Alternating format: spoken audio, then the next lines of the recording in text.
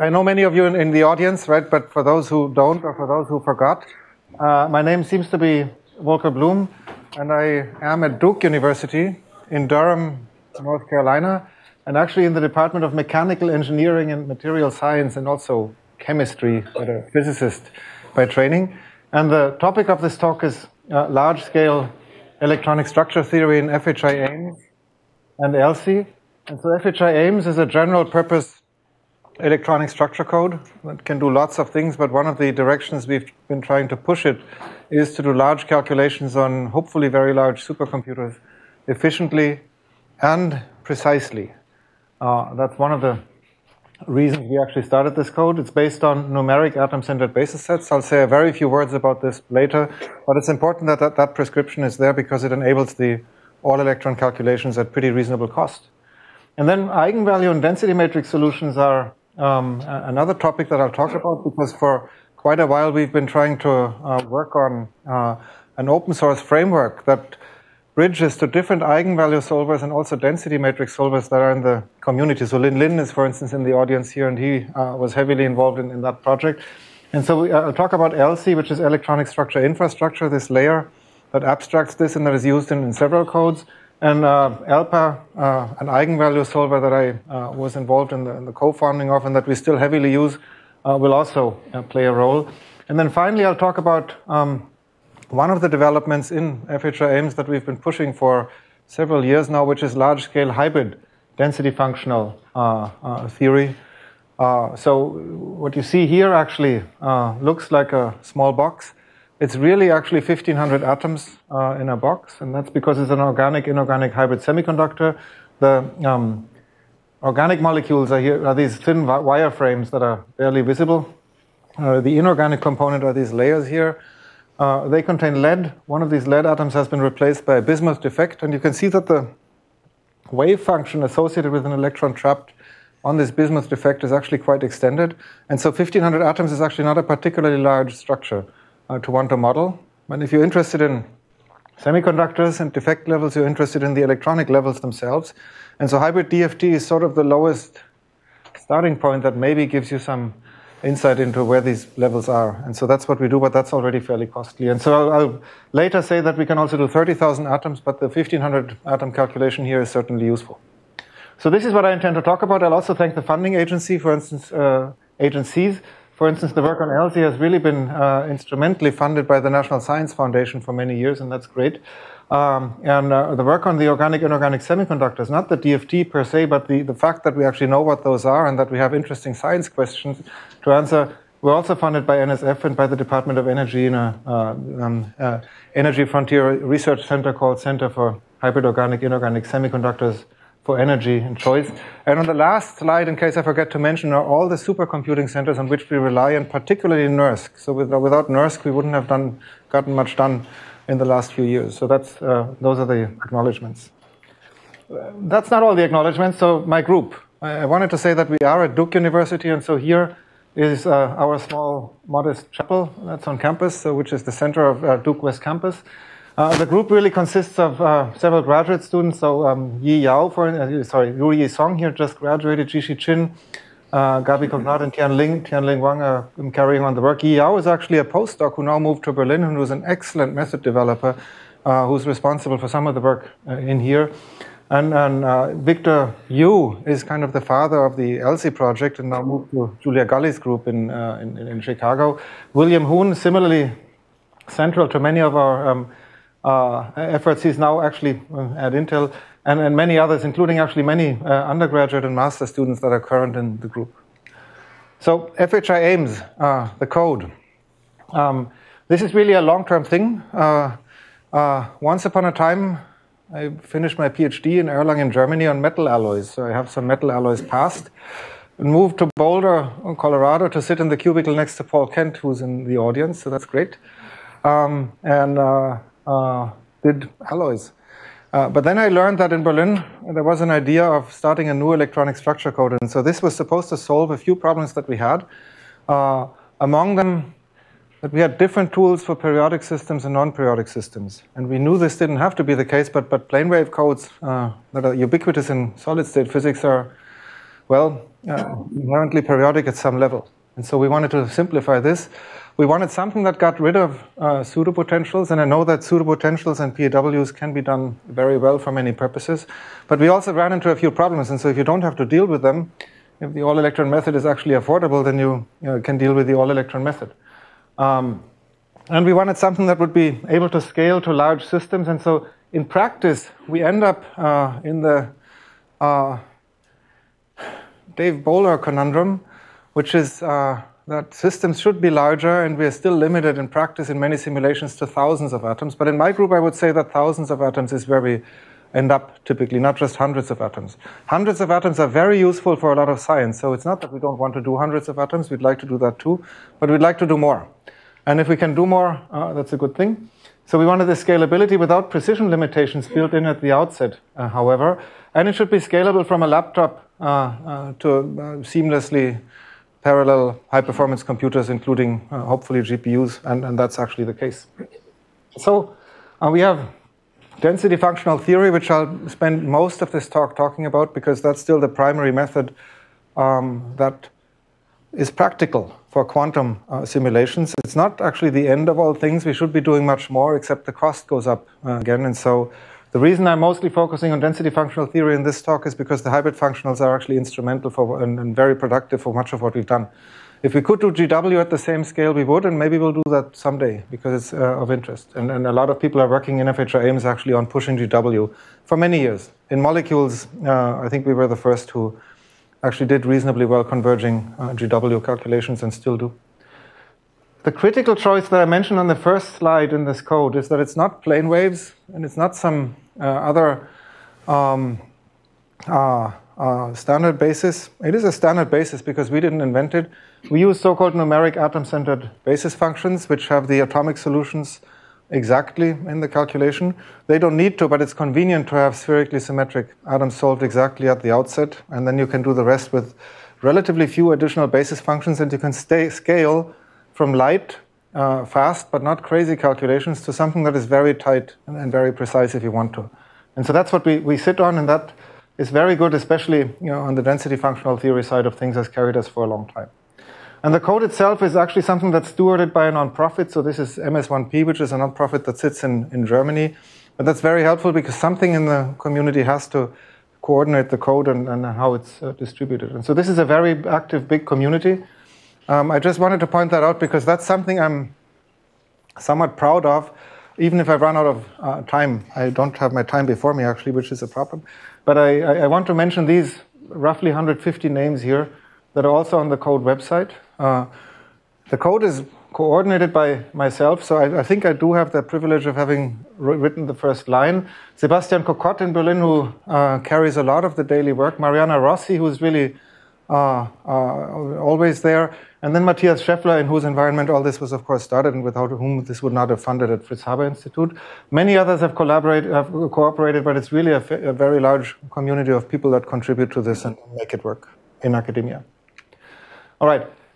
Then what other software do we do? This is a quick run through. I'll come back to this later. So this is the idea behind the ELSI project, which has also been a lot of fun uh, over the years. So this is actually something that's in the end not just used in my group, so Siesta and, and Plus in particular, and also DGDFT have used this interface as electronic structure codes. And basically, this comes from the realization that we all face the same basic matrix or, or vector problems at some level. And so we should be able to interface them into an abstract interface that takes various formats, converts if necessary, uses a solver such as LAPACK, perhaps, right? We could do that, and we can. Or ELPA as a massively parallel eigensolver, which is pretty robust and, and in our experience hard to beat. Or perhaps NT-Poly, which is an order n method uh, that's developed by William Dawson and, and, others and is also used in BigDFT. Or perhaps PEXSI, which is, I think, Lin's uh, work and group for many years. And so that's the idea behind ELSI. And we try to uh, move this forward, and it's actually stable and the, the basis for eigensolver and density matrix scalability in FHI aims at least. We also work on other things. So we have something that I don't mention very frequently in, in talks, but we do have a graphical interface. We call it GIMS, Graphical Interface for Material Science. And what you can't see here, although you can here if you look closely, is that this is actually a browser-based interface. So it has no installation overhead. You go to this website and it's there. You can also run your own instance because it's open source. It's somewhere in Journal of Open Source Software. We did this on purpose. It sits on ASE, so atomic, atomic simulation environment, but it gives you a visual impression of what you're actually building, including the Brillouin zone that you're choosing and various other things. And so this is supported by two codes at this point, FHI-aims, but also exciting. And this is for the simple reason that we did not want this to be something that was restricted to a single code. So if one builds a plugin to this, one can actually abduct this to any other code, and it's very useful. And, actually also, in principle, as a tool to um, illustrate things for teaching. And then finally, on a completely different note, I mentioned NSF and hybrid perovskites before. We started a project on hybrid perovskites that had a database component, but out of this came this software, which is called MatD3, um, which we use uh, quite happily to uh, put data on materials on our group's website. And so this is a, an open source package that sits on Django uh, and, and, similar open source software, but essentially gives you a clean representation of materials and, and any, of, any of their properties uh, that you can abduct uh, to publicize work uh, that's otherwise somewhere buried in a paper. So if you have a materials property or a material that's of interest or a group that does material science, in principle, one can put stuff into a database like this, publicize it and, and, make it visible and organized to the world, including all sorts of curated input. So this is not high throughput. This is actually manually input, and, uh, and, and the knowledge is hopefully preserved. So that's uh, almost what my group does. Then I, I'm actually, as you can see, quite interested in libraries, and that's not just because they're useful, but also because they're fun um, uh, because you actually get to talk to people who you would otherwise not talk to, right? Usually we, we stand there and say that our electronic structure code is the best. Now, I happen to know that FHI is the best, but I think a few people in this audience think otherwise. Even if they don't say though, I suspect them of thinking otherwise. And so that's terrible. Um, but wouldn't it be nice to be able to talk to them, right? And so it's, it's, this is another practical aspect of having something like a collection of libraries that you actually use underneath your code. It doesn't just simplify your life. In many cases, you actually get to talk to people and develop things together. And so we have this electronic structure library that was funded, founded, and, and also funded for many years by, by, by CECAM. I, I took out uh, the key slide. Hopefully that comes back later. Um, uh, it's missing. Uh, so uh, this was started by Emilio Artacho and some others in 2014 and is basically run as a series of yearly workshops. The next one actually will be in 2024 in Lausanne, and so there are two, two days of high-level discussions and then eight days of, of coding uh, for a group of people who can be PhD students, postdocs, and who are there and work on libraries together. And if you're interested in this, please please consider this. So this is not yet on. Uh, it is actually on the website in the meantime. Um, but more importantly, uh, it'll happen in about a year from now, and so save the date for this. All right. So with this, I really do need to get at my time. I don't have this in front of me. Here we are. So let's see how we do. Electronic structure theory. So this is one standard of electronic structure theory, but probably the thing that most people in electronic structure, structure theory tend to use, which is Kohn-Sham uh, in 1965. So this is a this is actually the non-relativistic um, uh, kinetic energy operator. How many people do non-relativistic calculations in this room? Some do. Uh, so uh, the pseudo-potentials are usually scalar relativistic, right? So we forget this. Uh, but, but some people might actually be doing non-relativistic calculations anyway, but there's no reason to do that. It's written here anyway. Um, I'm saying this as an asterisk because actually, of course, we have an interest in relativity, and if I get to this, I'll say something uh, about it later, and in spin-orbit coupling and getting things right. But we have these potentials here, including the exchange correlation potential, which all depend on uh, the orbitals effectively via the density. And so this is a set of nonlinear eigenvalue problems. This is straightforward to solve. We first pick a basis set, which is what almost everybody does. Not quite everyone, but mostly. Uh, once we do that, we uh, create a linear uh, combination uh, for an approximate solution. We transform this into a generalized eigenvalue problem. Could be a standard eigenvalue problem, and the Hamilton matrix and overlap matrix have the form of some kind of integrals. And so this is all feasible. And then we still have to deal with self-consistency, as you know. So we start with an initial guess, we get a density, we get a potential, and so on. And we repeat this uh, uh, until we finish.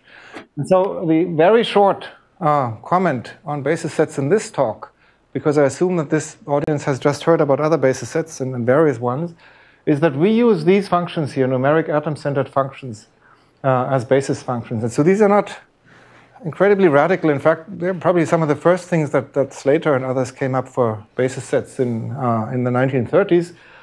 Um, but there are many implementations, and DMol by, by, by Delley in particular was the one that proved to the Berliners before I moved here, moved there, uh, that this was actually a, a useful prescription. Except uh, DMol at the time wasn't something uh, they could develop on for reasons that I wasn't there uh, for.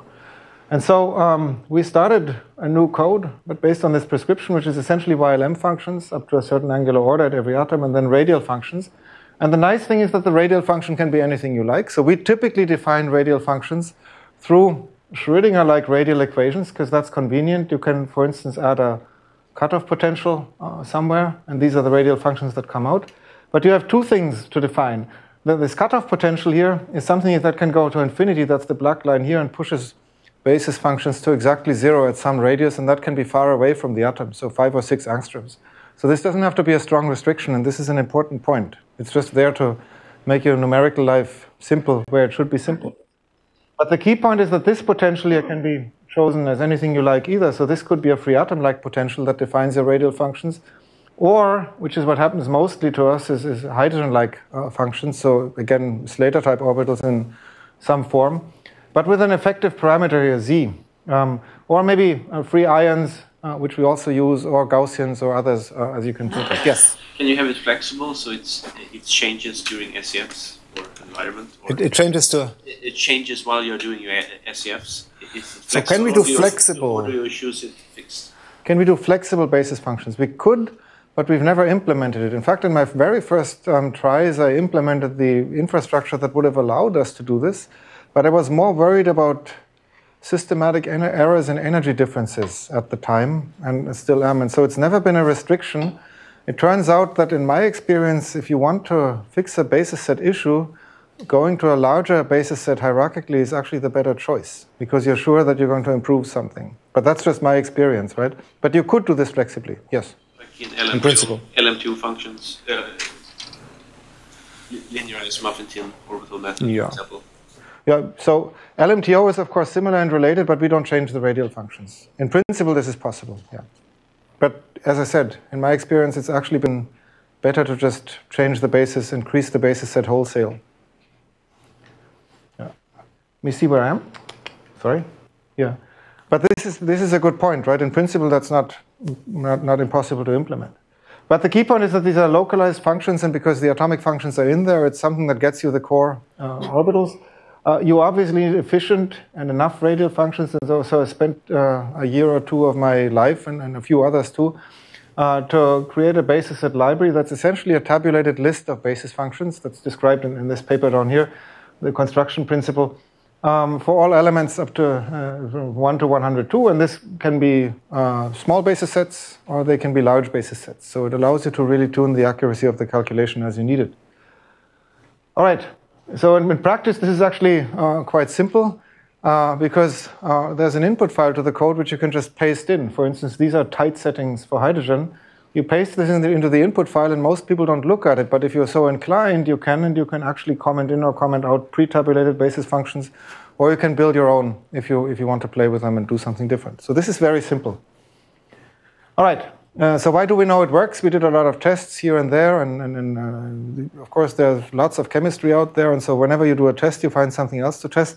Thankfully, Stefaan Cottenier came around and uh, did the delta test, which was published in Science a few years ago, convincing about uh, 40, uh, well, 70 co-authors really, 40 different data set sets, communities around 40 different data sets to compare results for energy versus volume curves for 70 elements, 71.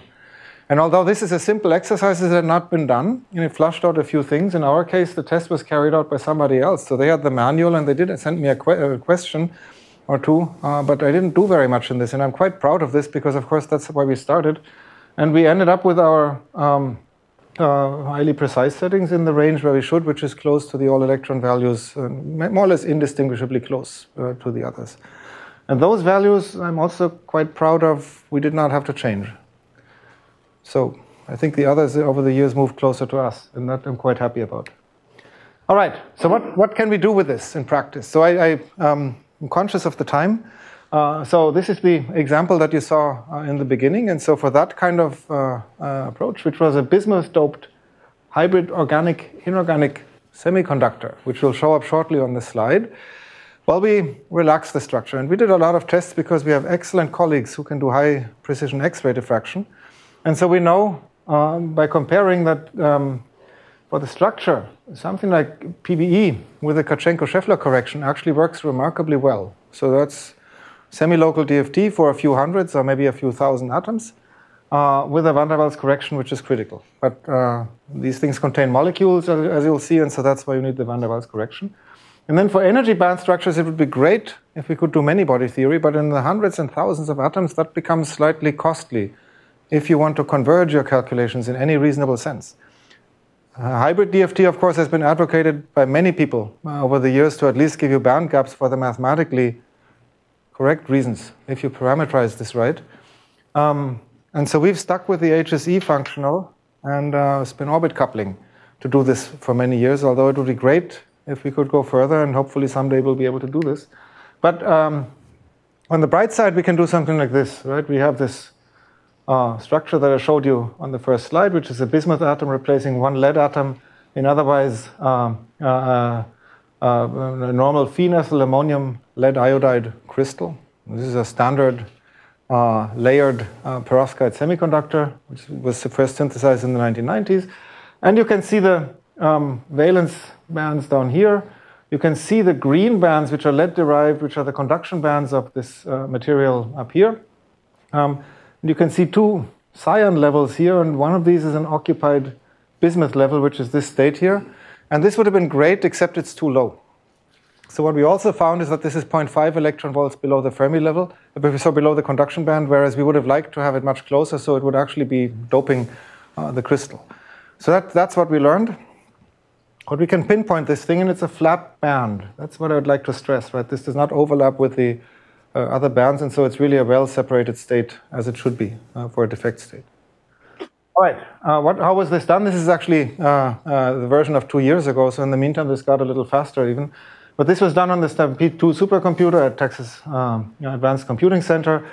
At the time, it was, I think, number 35 on the top 500 list. It's a large computer. We used 216 nodes, and the hybrid DFT calculation for this, this, this particular structure costs about four hours, and each node has 48 CPU cores. So this is a large calculation, but it's not undoable with the hardware that we have. So it's not exascale, actually. So this is feasible.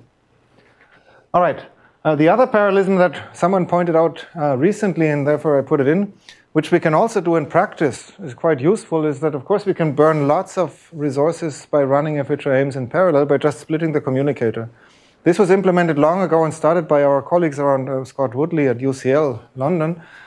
And um, so Andrew Logsdail did a lot of work on this also in, in, in, Cardiff. And so we can just call FHI-aims as a subroutine because that's really what it is. It's a subroutine call with a communicator. If you split your global communicator into a subcommunicator and then reassign it, you can call it like this. You can have a thousand calculations in different directories and you can run them at once through a queuing system. And actually, Rui Song, who's depicted here, did this because we have this experimental paper that just appeared on chiral perovskite nanoplatelets, where we didn't know the structure of the absor adsorption of molecules on a perovskite nanostructure. So no X-ray diffraction here. We needed to find out likely structures, and Rui just used Perlmutter in its testing phase when it was uh, not usable, I think, by very many people yet, and it was empty.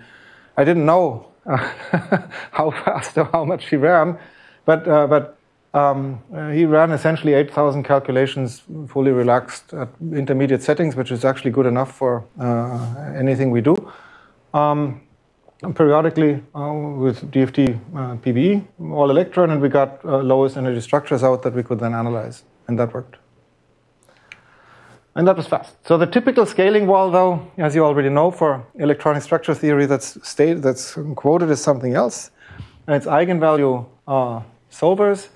Uh, and so this is a picture that Victor Yu uh, made many years ago for a 4050 uh, atom graphene monolayer. If you remember Edison uh, at, at NERSC, then you know uh, that this has to be relatively old. But for us, this is basically to show that the total time in a, calculation, which is the black line, is dominated by the red line in such a case, which is um, uh, the eigenvalue solver. And this is already with an eigensolver that's fairly heavily optimized. So the ELPA eigensolver is a, is a good eigensolver uh, for parallel uh, applications. And the, the grid-based and other operations for PDE are somewhere down here. So clearly we need to do something about the eigensolver if we want to do more, as others have pointed out uh, before us. And um, yeah, this is the slide that I would have liked to see before. I put it into the ELSI because this is actually how this project uh, started. It was actually Emilio Artacho who sent this email on the overall electronic structure library. We are all, there'll be a workshop in CECAM at Lausanne aiming to kickstart an electronic structure library, by which he means a library of libraries, which is actually what we have at this point.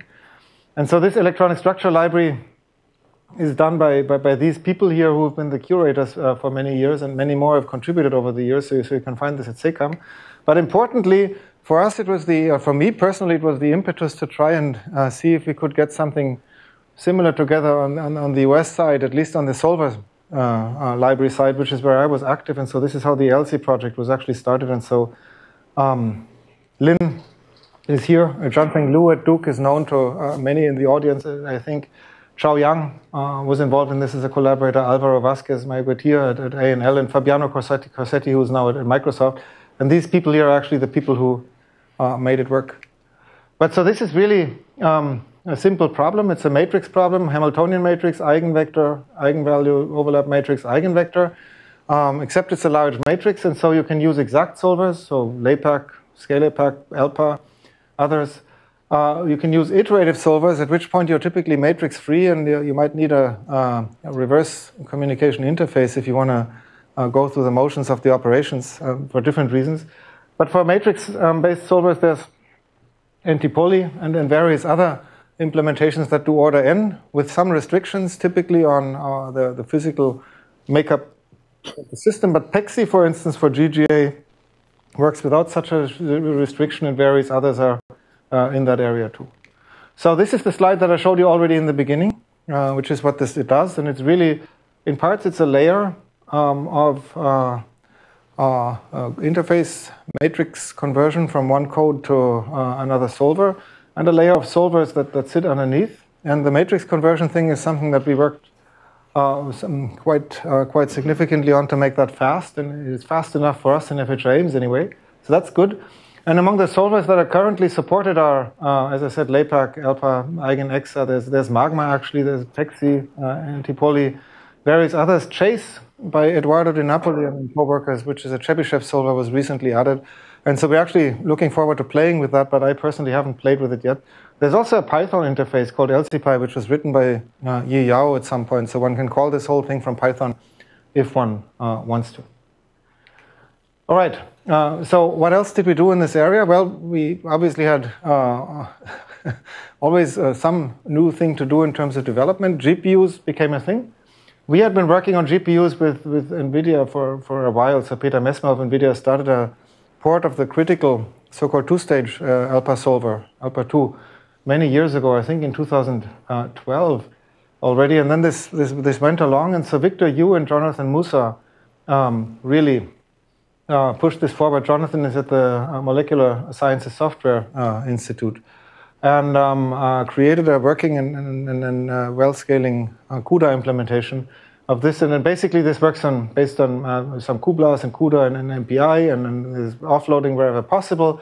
Uh, the multiprocess server is something that, that was used, and uh, there's a particular step which is numerically tricky, which is not easy to um, put on a GPU, which is um, back transform of a tridiagonal set of uh, solutions to a banded set of solutions. And so that was written with a, a new CUDA kernel. And so the upshot is so this is this two stage uh, solver the upshot is that you go from a dense matrix to a banded matrix to a sparse matrix and back uh, two steps.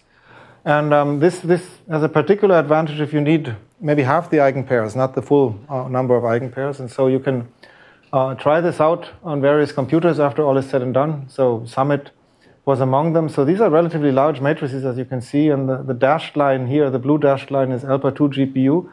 You can see that the GPU version of the simplified version where you go straight from full matrix to tridiagonal and back, so this is the red line here, is actually competitive on few nodes, but then on, on, on many nodes, this ELPA 2 uh, GPU implementation actually wins. CPU scales much better, so uh, there's room for improvement there. And I think that uh, at MPCDF uh, in Garching, who have headed ELPA for a long time, there's some improvement in this area at this point. So this is from our original paper in 2021.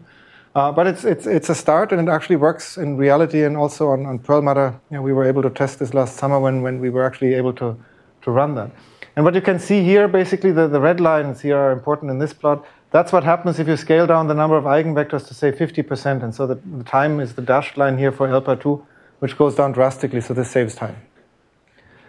Well, we did lots of other things in this area, but one particularly entertaining uh, project was uh, that Guifré Vidal, who was working at the time at a Google subsidiary, uh, contacted us and, and, asked if we had an interest in working on Google's tensor processing units. This was mentioned by, by David uh, before. And uh, we did because it sounded like a fun project. So this is a version 3 TPU plot, and Google says this has more than 100 petaflops. I don't know if the specs for their version 4 are out yet, but this is somewhere on the exascale, I think and I don't know where exactly, uh, but Google has such computers, and you can, uh, I'm told, take a checkbook. I, I lost my checkbook, but I uh, when I heard. But anyway, um, uh, you can take a checkbook and buy time and, and, run on there, if you can. So what was done here by this team, and this is really Ryan uh, Pederson, who's I think actually in Kieron Burke's group at, uh, at Irvine, and, and, and, many others who had written the intermediate libraries. Um, well, we used FHI-aims to calculate matrix elements on a CPU machine. Uh, this was then, as a proof of concept here, written uh, to disk by ELSI and read in on the TPU machine behind a wall, which was there for, um, uh, uh for, for, for, formal purposes, I think. And uh, ran a density matrix purification algorithm, but order n cubed on the TPUs because they can do fast linear algebra and then transform back to uh, CPUs, and actually this worked. And um, so what is shown uh, by that whole team is that essentially uh, uh, this works, and you can plot it on a, log-log scale in terms of number of orbitals and time, and you could run at the time 248,000 orbitals. And so this seems to be uh, if, if one of the largest, if not the largest, order n cubed DFT calculation, so without any other restrictions ever run. Uh, had we had access to the hardware still, the team was certain they could have gone to 500,000. So they put an extrapolated set of points there. But I believe that this was this team was ended due to business reasons at Google, so it not, had nothing to do with the science. But it's very promising and it's still fun. And you can also do single precision, double precision here, and we have some other work on mixed precision in general also that I don't have time to talk about. So that we did, but it turns out that even if you can solve GGA, we're not done because GGA may not give you the right results, as you all know. And so, in particular, you know about the DFT band gap problem. This is perhaps more of a community problem or community reception problem because there is no band gap. The original DFT didn't claim uh, to get the band gap, although you can argue that it should have. Um, but Kohn-Sham DFT said, well, the eigenvectors and eigenvalues are fictitious. Nevertheless, everybody uses, and, and then with a long train, of course, of more rigorous work behind it, uh, eigenstates, eigenlevels in Kohn-Sham DFT for uh, something that approximates quasi-particle states. And with hybrid DFT and the right um, parameterization, there's at least a reason to expect the band gap to be correct. Uh, you can hope for this. Now, it would be nice, as I said before, to do things like band gaps and quasi-particle band structures with many-body methods for large systems. But this is something that um, not so many people uh, can do, even for hundreds of atoms. Berkeley GW, uh, perhaps, uh, and that has some. Uh, well, there was a talk about this uh, not too long ago here, um, but thousands difficult, right? And so many substitute hybrid DFT instead, and that's due to plots like this. So I took this, this database from uh, scientific data because they do have a nice plot. They list PBE and related data from the materials project and project, and here experimental band gaps from a set of I think 46 materials that they chose. Here are the computed band gaps, and you can see that the band gaps are all too low somewhere, right? And so if you were on this dashed line here, which is dashed over here too, by the way, uh, you'd have the exact answer. And it turns out that if you use HSE 06 with a standard parameterization, 0.25 for the exchange parameter, the green points emerge and they look much better overall. And you also see that there's a significant scatter. So to the reviewers who keep telling me we need to adjust the alpha to the experimental value that our colleagues um, uh, measured. I say that in many materials we don't know what that alpha is because people parameterize the alpha and we get this perennially. But second, there's a significant scatter, and that's of the order of 0.6 electron volts here in this, this range here in which we're interested, right? So you can over-optimize for one material. It's difficult for other materials. And so I've stayed with one parameterization, but the take-home message is that this here is actually has a fighting chance of giving you better results than the semi-local DFT version. So because we can do this for large system, we use it. Um, and so we've done this for many years. Uh, we, in 2015, after some serious work by, by these people here, um, we actually published uh, a so-called local resolution of identity version, uh, as others have done before us and after us in, in, the literature, of the Coulomb operator that basically takes product pairs of uh, basis functions and expresses them into, in a smaller basis. Uh, so if you wish, this is a tensor contraction. Uh, and uh, uh, the, the coefficients follow a rule like this, which you can show gives you uh, error cancellation to in the linear order uh, in the Coulomb matrix elements. And once you do this, uh, like this, you have the problem that the full resolution of identity will actually delocalize your Coulomb potential over the entire system. Even if it's zero, there'll still be basis functions there that express a zero in various linear combinations. So this is, I'm sorry, hard to see, but this has three spheres around each atom, this image. And uh, this basically said, why don't we express the density, which is this product here of two basis functions, just as a function of two atoms locally, not as a function of the third. In short, this loses you the, the linear error cancellation here. But it turns out that if you use enough functions, uh, expansion functions, especially high angular momentum functions, higher angular momentum functions, this actually works really well. And so we did that, and it's carried us ever since in hybrid DFT. And after another fairly significant amount of work. We could actually publish a thousand atoms, gallium arsenide, all electron, no tricks, no symmetry used. Um, exact exchange on a machine that existed in 2015, and you, you, took about an hour or so if you had 4096 CPU cores for a single SCF iteration. And that turned out to be fortunate for a lot of the perovskite work that I did because we had systems in the range of hundreds of atoms that needed this.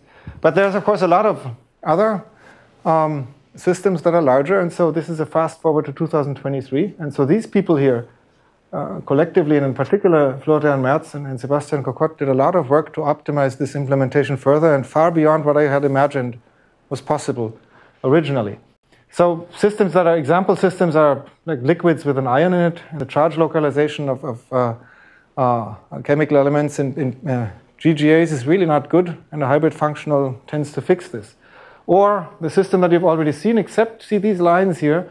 This is a different version of the bismuth defect. This actually has two bismuth atoms and a vacancy. This is electrically neutral, and um, who's interested in perovskites in this audience? One, two, I expected as much. For the purposes of this talk, you should be interested in the fact that this line is not quite flat.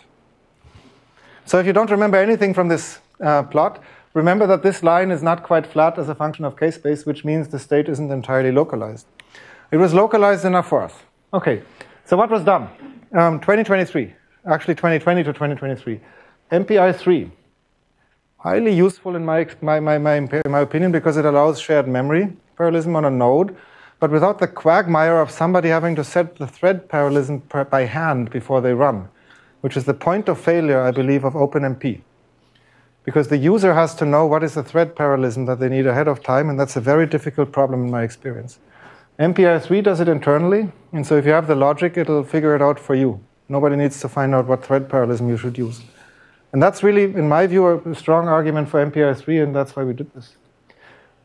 Well, we compress and exploit sparsity in the RI coefficients. We had already done this before. Otherwise, you can't do order n uh, exact exchange.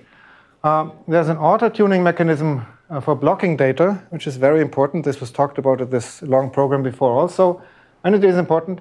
There are additional parallelization layers, so the parallelization was actually generalized, which is a good thing, uh, and various other tuning mechanisms to load balance. And so that turned out to be a quite extensive amount of work, but it fixed some things. For example, it fixed the memory usage per core on uh, uh of, of the different implementations. So this is the 2015 implementation, this is the 2022 implementation here in comparison.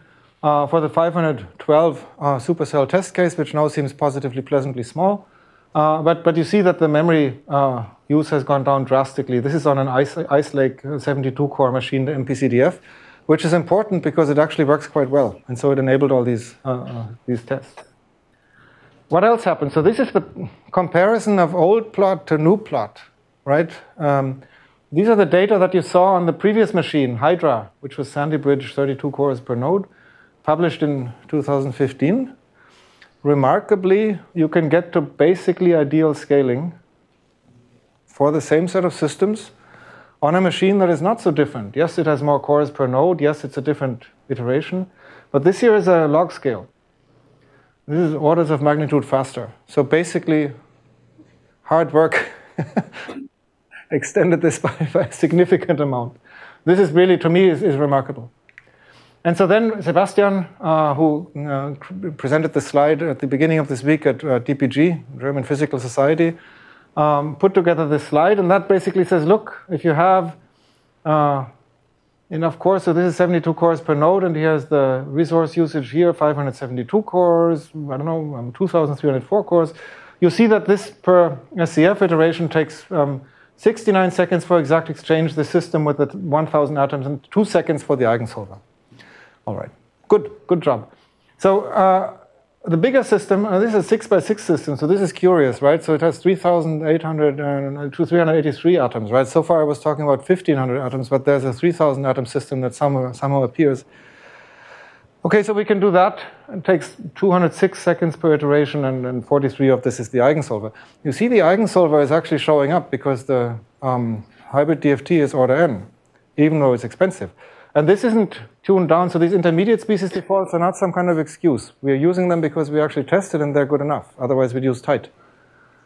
Um, well, you can also be interested in a headache. And so if you want to cure your headache, you can take a paracetamol nanocrystal. And this is what this is with 10,240 uh, atoms, just to show that we can go above 10,000. And indeed, with light species defaults, this can be run. And light is important because a lot of the n square terms still show up in terms of the number of atoms. And so this is feasible. This has 101,000 basis functions on a large number of uh, resources. And uh, here uh, we have ice, just to see, say that we can do ice with, with 15,000 something atoms, and it works. And um, you can actually include forces, so Sebastian did that too, because typically you tend to show only the SCF, and the overhead is not too bad. And then finally, just to do it, I think he did 30,000 atoms of this ice on a slightly larger number of cores. This is again hybrid DFT and 244,608 atoms it works. It occurred to me yesterday that had he used a few more atoms, he would have actually beaten the TPUs, um, but uh, on a regular Intel machine. Uh, so it's possible uh, with the standard ELPA solver. So this is a normal order n cubed ELPA eigensolver, nothing special.